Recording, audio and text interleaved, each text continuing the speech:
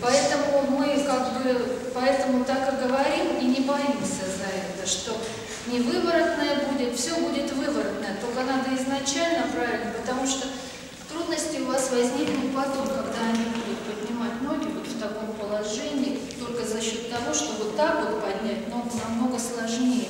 Тут не тянется ничего. Поэтому маленьких детей изначально тянем пяткой. И когда тянем, смотрим, конечно, на, на бедра большое внимание уделяем. Ну, садись, будем речь.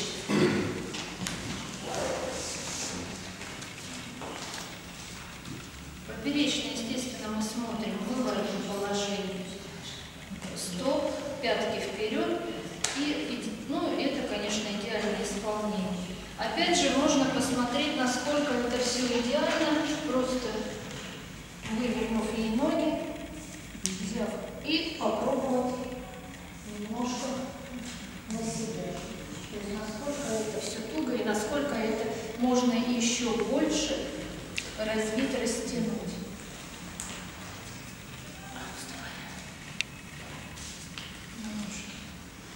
Теперь мостик. С мостом.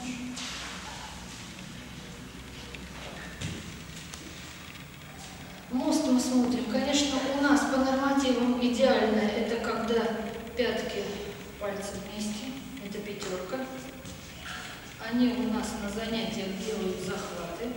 То есть вот это вот, в принципе, идеальное исполнение на пятерку. Теперь отойди назад.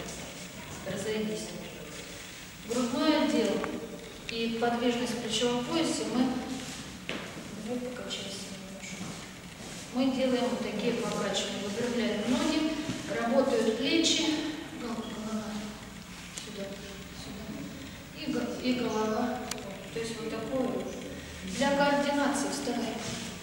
Для, коорди- для координации используем ходьбу в мост.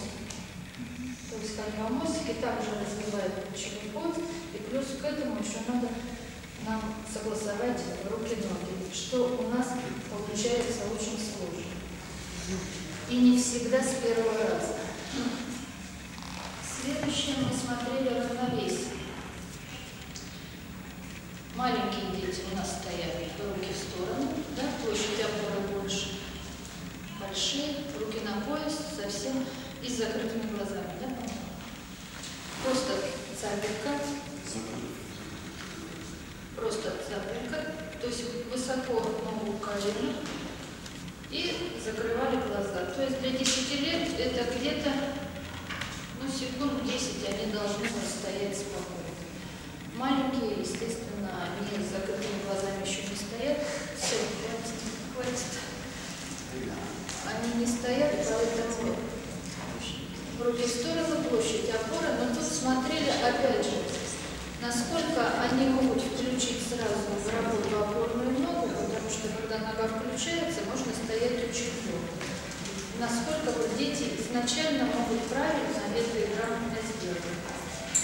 То есть мы, в принципе, своими нормативами успевали сразу несколько задач. Так же, как просили просто пройти на полупальцах по прямой, и при этом работали руки в разных направлениях у нас на 8 счет.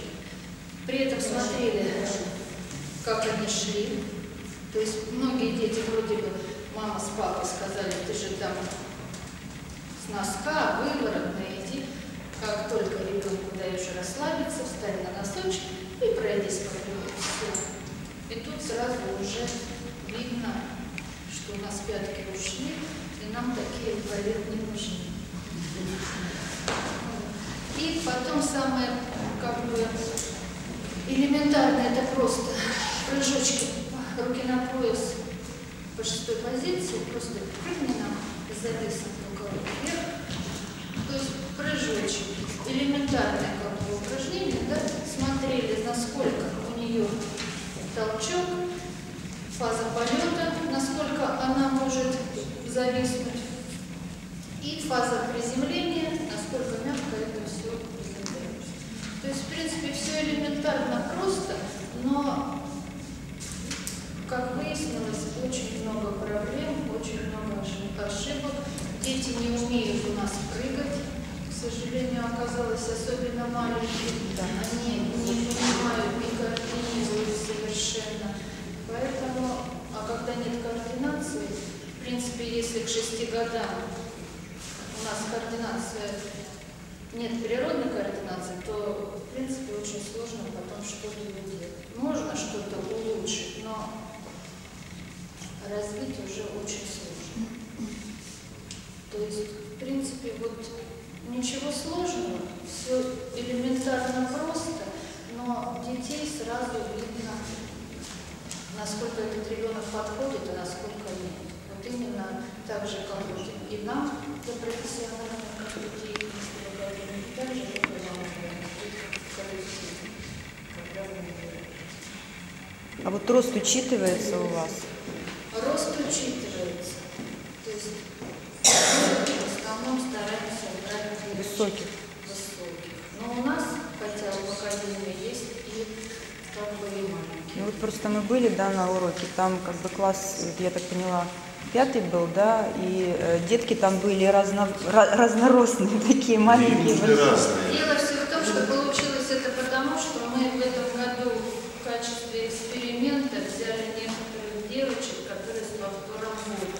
Естественно, они по сравнению с такими как бы вот детьми на год старше, они уже как бы естественно и выглядят уже немножко повзрослее. Вот у нас есть такие дети в группе, которые с повтором года или немного старше. Но это только было в этом году.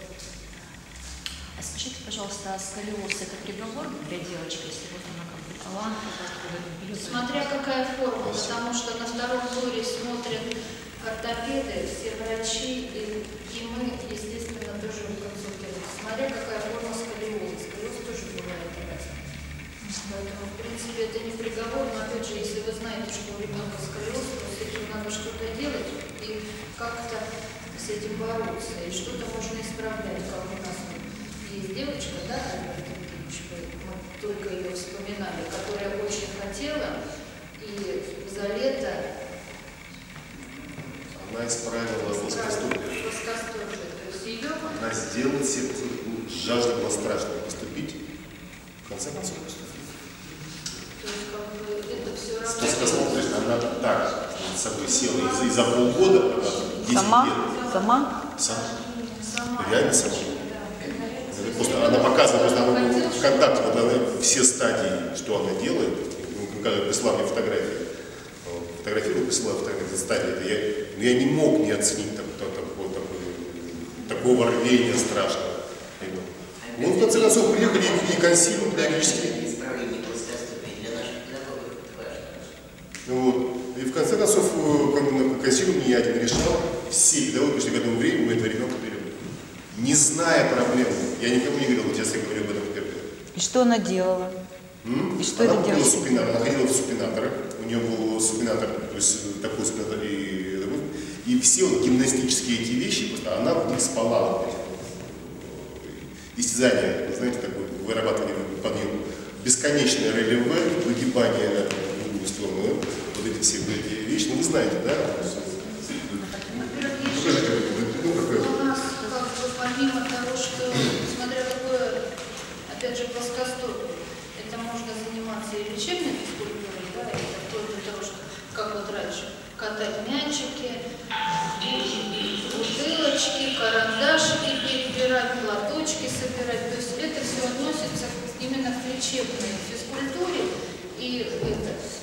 Но, опять же, носить одни стельки и ничего при этом больше не делать, это тоже как бы Мы используем в основном вот парт, партерные, когда у нас занятия, разминка идет, натяни стопы. То есть элементарная вот работа с стопами, элементарная, да, вот напряжение, да, давай по шестой позиции, пальчики вместе, да, вот просто вот все, что, давай вверх-вниз, просто вот эти вот все движения в первую позицию раскрывания, то есть вот это вот все, это идет, во-первых, на укрепление связок и на выработку, но это опять же должно быть вот на максимум. Не то, что расслабленными ногами, только когда будет вот так, чтобы сводило прям такое напряжение в стопах, тогда вот какой-то будет